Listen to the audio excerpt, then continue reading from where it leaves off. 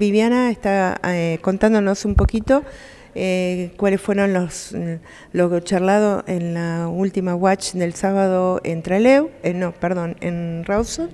Y bueno, las acciones que estamos analizando, un proyecto de ley que mm, aparentemente presentó o va a presentar el, el partido Chusoto y estábamos analizando paso por paso que habla en este proyecto de ley, eh, obviamente, de la eh, megaminería.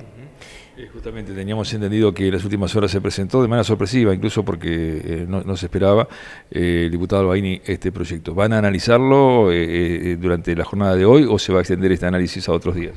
No, están analizándolo eh, punto por punto y entre ellos, eh, además, estábamos viendo otras acciones. Este, nosotros seguimos con nuestra propuesta de las firmas, de eh, la recolección de firmas, especialmente en la meseta, que son las poblaciones más vulnerables y además este, estamos haciendo todo lo posible porque son comunidades que se quieren manifestar en contra de la megaminería y no tienen ni voz ni voto en, digamos, eh, a nivel gobierno, ¿no?